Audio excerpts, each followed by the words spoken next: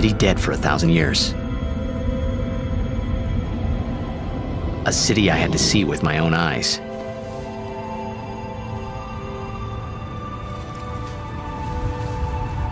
The end of Yuna's journey.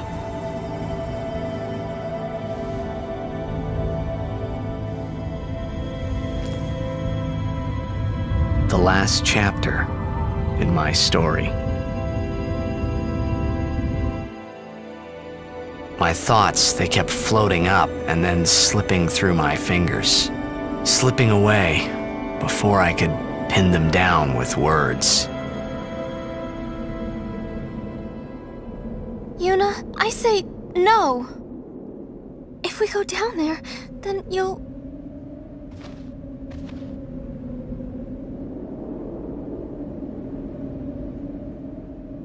Rikku, you're a true friend, and I thank you, but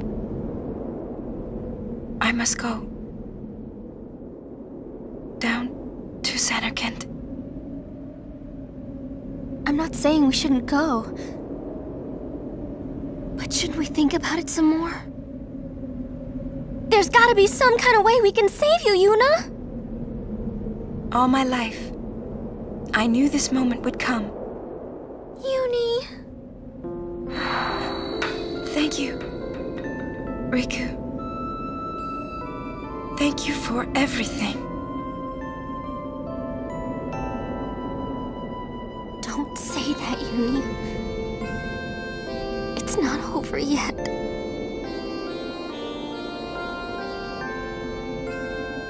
Tell Cid, thank you. No. You can tell him yourself.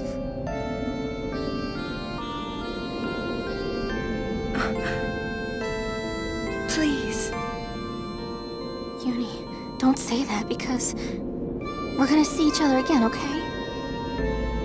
Kimahri, let's go.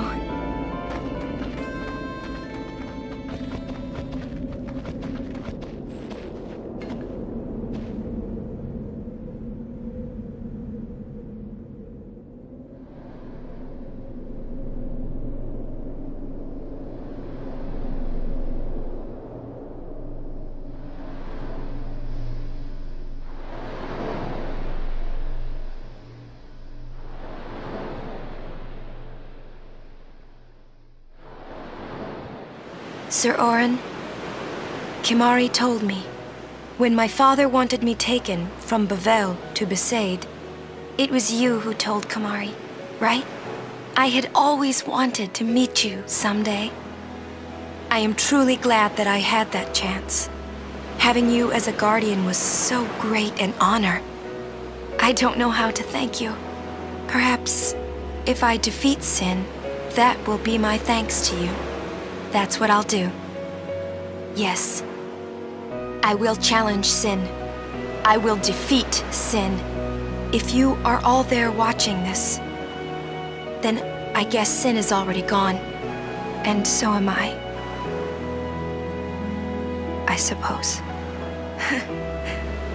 anyway, I just wanted to say, Sir Auron,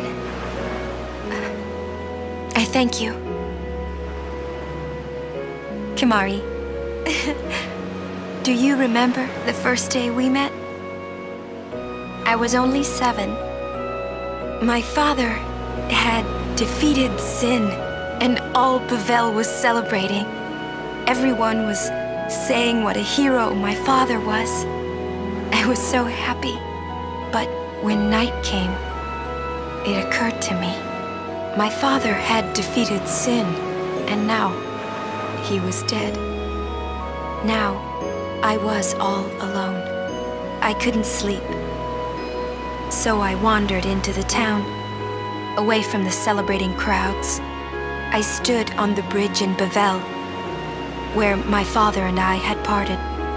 Standing there, alone, I could see the fields where he had fought Sin. Then, you appeared, Kimahri. You said you were looking for the daughter of Braska, remember? At first, I was so scared. Until I realized what a gentle person you are. you weren't used to talking to children. When I told you that I was Braska's daughter, you said you would take me as far from Bevelle as you could. That it was the wish of a man facing death.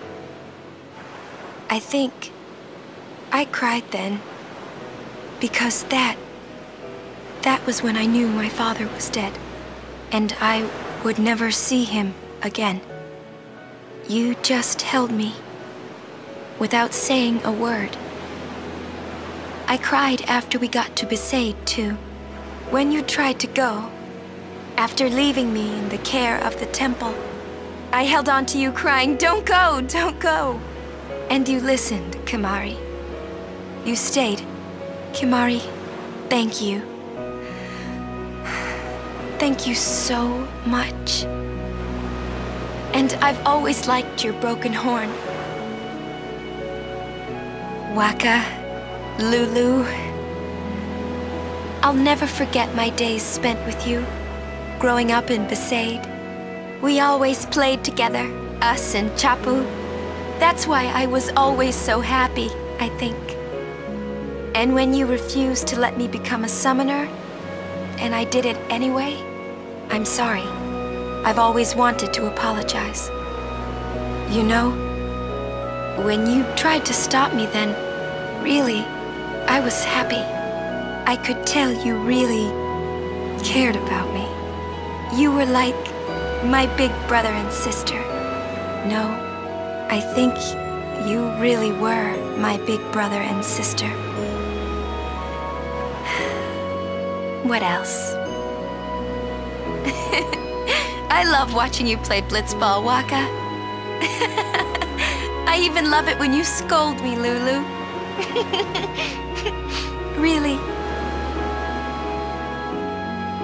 I guess that leaves the newest Guardian. Star player of the Zanarkand Abes. You are... I am... Well, um... I'm glad... I'm glad that we met. We haven't even known each other that long, but... It's funny. So... So this is what it feels like. It's a much more wonderful feeling than anything I had ever imagined. Wonderful. But it hurts sometimes. Hmm. Hmm. I wonder. I. I just want to say Thank you for everything. Maybe. Maybe that's why it hurts. When I. When I think about us never being together again at all. I'm afraid.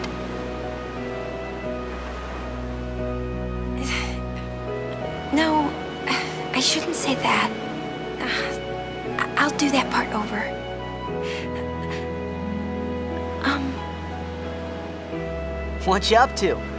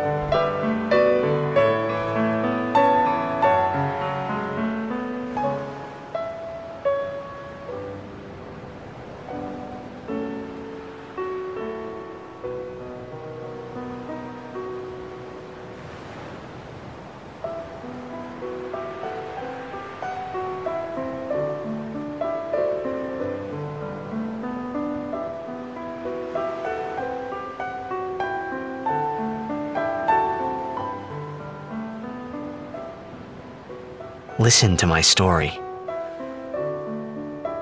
This may be our last chance.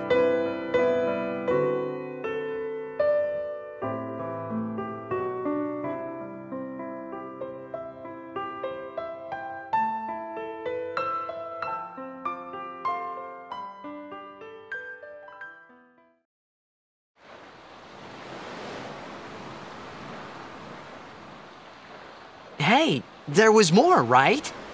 I mean, like that time. Uh, anyone? I think. Yes?